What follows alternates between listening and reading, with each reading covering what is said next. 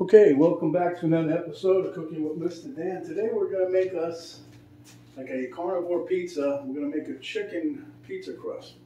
My wife's been dying for pizza, so we're going to try this. And I I like the white uh, white sauce, so we're going to make a nice little white sauce to go with it. So without further ado, let's get to it.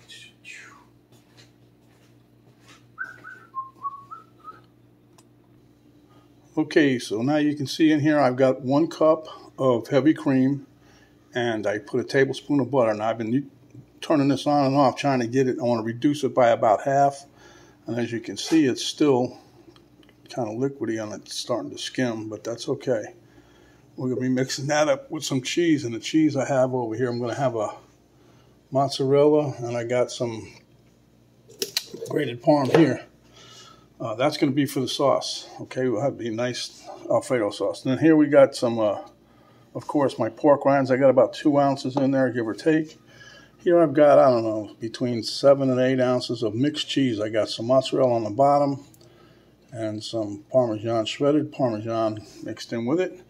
And here's about a pound of chicken, almost. Eh, maybe a little over, I don't know, but it's about a pound. And here I've got some leftover uh, ribeye steak here. And this here is some leftover uh, stew meat that we made the other day. Okay, so that's what we're going to top it with, with some more cheese. You'll see it's going to be delicious. Okay, so I just wanted to show you a little bit about the sauce and since I started it. Um, and I want to show you guys. You don't want to, don't bring this up too high. Do it on low if you can. You know, bring it up to a nice little perk. I'll show you what I mean here in a minute. It won't take long. I want to reduce this. I don't want to turn it too high because you can burn the milk and you don't want that. You ruin it everything. Uh, so anyway, I'm going to bring this up. It's going to have a little perk to it. We don't want to get it totally foaming over the top of the pan. So be careful with that. At any rate, as you can see, if I don't know if you can tell right here, the steam coming off, that's what we want. That's going to help reduce it. We're going to reduce it by steamage. You ever heard of that steamage? All right, so we're just going to keep stirring this a little bit. Pull this back a little bit on the burner, get it centered. Yeah. And then I'll just let it percolate a little bit. Shouldn't, there you go. It shouldn't take long. See, it's starting to percolate. I don't know if you can see it. But it's actually starting to do its thing. See how I got the spoon there? You see the percolating little bubbles? There you go. Ping, ping, ping, ping. Like a pancake. Okay, so anyway, we're going to just stir this a little bit. And then that's going to be, we're going to keep doing this until we reduce this by about half. It's maybe a very scant amount that it reduced by so far, but as you can see, it's steaming pretty good now. I don't know if you guys can see that really in the camera, but it's actually steaming. Now this is the little percolating I'm talking about. See it? You don't want it any more than that. And then just keep stirring and stirring. You don't want nothing to stick on the bottom. I put the butter in there. You really don't need that, but I put that and I think it gives it a little more richness to the sauce when it's done. And see, once it gets like this, where it's going pretty good, then I'll cut it off for a minute. And stir that around. Keep stirring, stirring, stirring.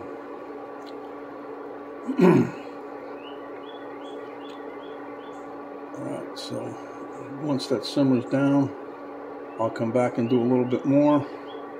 I usually do this all at one shot, but I don't want to get it done too ahead of the pizza time. Alright. Okay, so here I got my food processor. Now, if you don't have one, you probably use a blender, mixer, whatever, uh, to do this. It should work pretty well. But anyway, I found that you get a better mix. Oh, I forgot about my eggs. So let me show you my egg.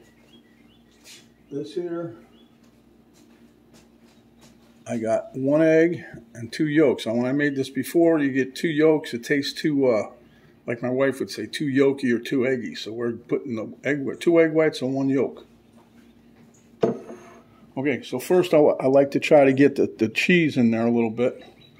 Don't want to go too much with the cheese because then uh, the cheese and the, the crumbs because the cheese will actually start melting on the blade if it gets too hot. and then we're going to toss in our two ounces of my favorite and yours, pork rinds. Well, notice I didn't say uh, panko, but what they have, fine ground stuff you can buy, and they call it pork rind panko. All right, so anyway, just gonna give this a quick couple pulses.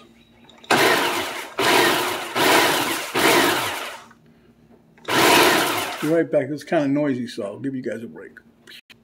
Okay, that's just a mix of cheese and pork rinds, and as you can see, it's a nice consistency, okay?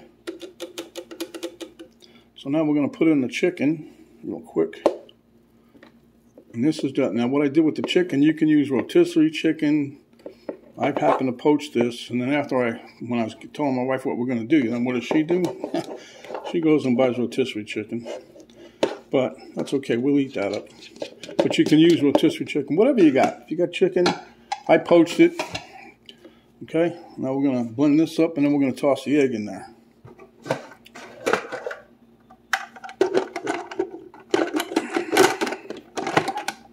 Same thing, we're going to pulse it.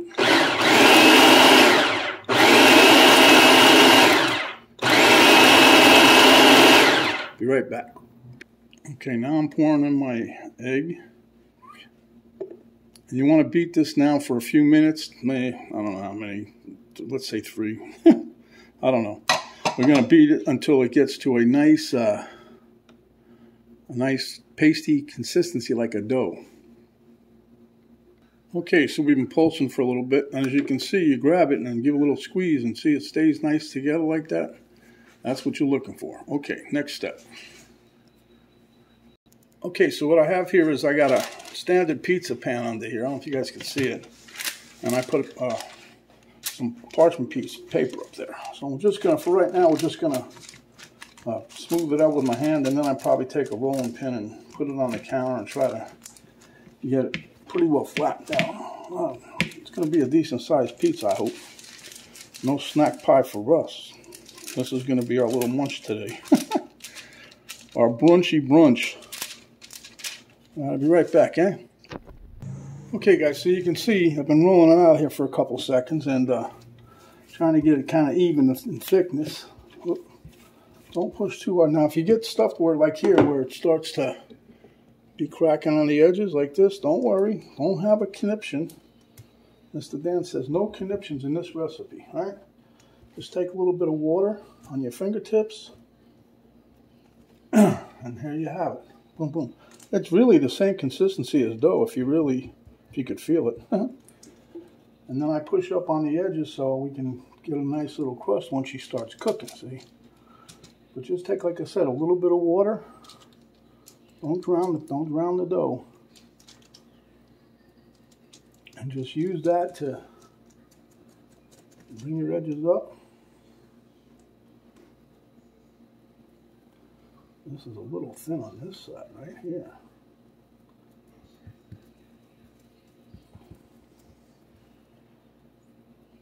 Anyway, let me finish this up and I'll show you what we do next. Okay, so when we're done rolling it out, you just take it and slide it right up on top of your tray. And then we're going to preheat the oven. I didn't do that yet. We're going to preheat the oven at 450. And uh, we're going to pop this in for about seven or eight minutes till the bottom side gets nice and crispy. I just wanted to show you guys what I have. I have my cast iron pizza pan in there. It's plenty big enough to take that other pizza pan, but I'm going to use it as a, as a pizza stone. Okay guys, I don't know if you can hear in the background, but the lawn guys are here. But anyway, as you can see, we have uh, our heavy cream here has kind of reduced a little bit. So what I'm going to do is just take some of the, the, cheese a little bit at a time and just put some cheese in there until I'm going to spin it around until it melts a little. Some people turn it off. I say if you stay by the stove, you don't need to really turn it off. Just pay attention to it. Okay, so we want to melt that. And that's going to thicken her up too. And then we'll throw in some Parmigiano, Reggiano. I don't know if it's Parmigiano, Reggiano, it's Parm cheese, that's all I know. Throw some of that in there. We'll be right back. Okay, as you can see, it's kind of percolating pretty good, so I cut the heat off. And uh, I'm just constantly stirring it here, trying to get, I don't, no lumpy cheese in there. I want it all nice and creamy. I know if I can say that because my daughter tells me certain words I'm not allowed to say. Don't ask me why. I have no clue. She said, Dad, don't you know anything? I said, No, I live like a, you know, hermit. I don't know nothing. Barely could use Facebook, huh? All right, so as you can see, it's definitely thickened up some. I might cheat and put a little bit of uh, pepper flakes in here. I don't know yet. But this is the time if you want to do something, taste test it first. Get a little on the spoon and just give you a little dab. Nice and cheesy, that's what I'm looking for. You don't want to burn the cheese. You don't want to burn the milk. Now, like I said, if you want, you can put a little salt in here. A little pepper flake wouldn't hurt. But the pepper flakes really, you know, if you're going carnivore, they don't want you doing that. But, uh, okay, so now you can see we've got a nice cheese sauce for the pizza. And I'll probably heat this up one more time because it's going to coagulate some once it cools down. But that's the sauce. I'll let you know if we put anything else in there. I was uh, overruled. I put some salt in and then uh, someone was tipped through into the kitchen and said, I put some of them pepper flakes in there. So we got a little bit of, I put a couple pinches of pepper flakes. When I say a couple pinches, I mean a couple pinches. And I put some salt in there. Okay, guys, time to put it in the oven. Like I said, about seven or eight minutes, and we're going to flip it over. Okay, so it's out of the oven. It was about nine minutes. I left it because it's this is a thicker crust than I normally make, so I left it in there for another minute or so. But as you can see around the edges, it's a little brown, so I'm going to flip this over, show you what it looks like.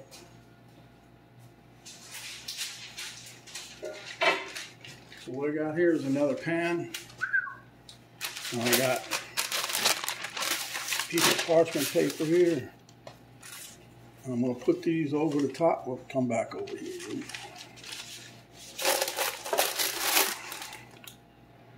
And let me get another thing to grab. that was quick. Has to be. Okay, so be careful of these pans. They're hot. So just lift this up. Okay. Put this over here. Out the way for a momentito. And then we'll peel this back and reveal our crust. As you can see, it's browned up pretty good. So what we're going to do here was we're going to, this is the side we're going to cheese up. All right, I'll just, uh, I'm going to swat, I'm going to switch this back to the other pan once I let that cool a bit. Okay, so the first thing you want to do is, of course, we're going to get our cheese now, our cheesy Alfredo sauce. I just put some of that on it. You may, you may use it all, you might not. I'm not going to go crazy. Let me turn that timer off. Okay. So here we're going to round and round with the sauce, see?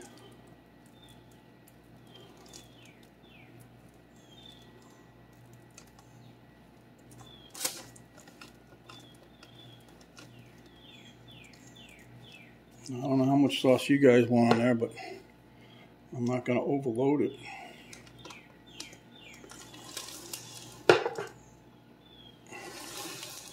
My wife or daughter can have more if they want. There's some in there. This is all I'm going to put on here right now. But I'll tell you, it's got a nice aroma to it, so. But this is what you want. You know, you can almost pick this up, see? And trust me, it's not no, uh, you gotta remember, it's not a doughy pizza. It's a chicken crusted pizza.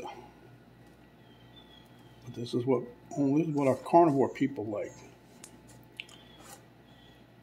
Alright, so here we go.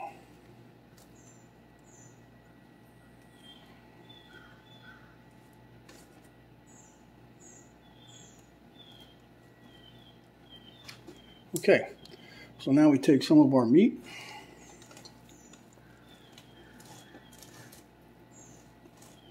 Spread the meat around. Now this, uh, the first one I'm putting on here is the, I guess we call it the stew meat. I took a roast and we uh, did a slow cook on it. That's what this meat is. And I, then I had some leftovers and I cut it up, chopped it up. Almost made mincemeat out of it, huh? Okay, then we're going to take our uh, ribeye steak that we had some left over. I'm going to put that on top. Now you guys can put whatever you like. You want onions on here, go ahead. That's all yours. Uh, they call this the elimination diet too, this carnivore thing. But, you know, if things don't bother, you can go slowly but surely. You can bring them back into the diet, introduce them. But uh, they really want you to stick with no plant-based at all. So uh, anything animal-based, you're good to go. No salt, no plant base. Salt is good. Yeah. Okay. That's that. Now we're to take, I got my cheese. What I did with the cheese is I, I grated, I chopped up the mozzarella cheese and the Parmesan together. So we got a nice little mix going on here.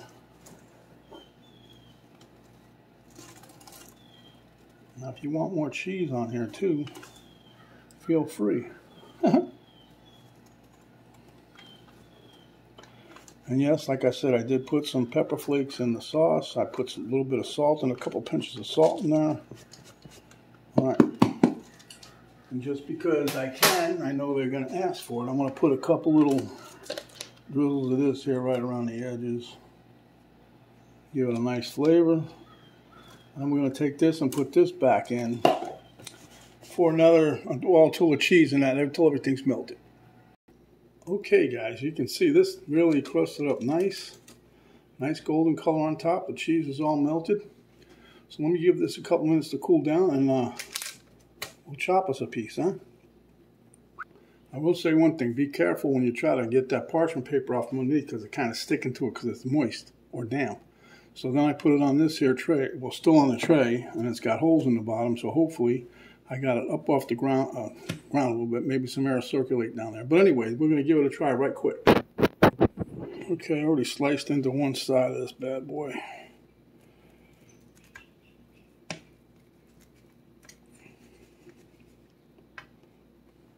Hopefully it comes out right off there. Sometimes, like I said, it has a tendency to stick a little. What we're going to do is we're going to take this piece right out. Look at that. It stands up pretty good. Give you guys a little side view. And if you look at it, it looks like pizza dough. Okay. Okay, we have a family project going on on the table out there. So we're going to give us a quick taste test here. Going to pick it up. And it, it handles really nice. So you can see all right, let me get a bite. Mmm.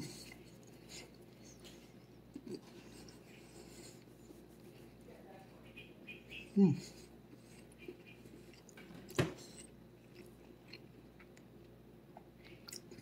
The chicken is a little bit on the dry side, but that's, you know, to be expected. We use chicken breast.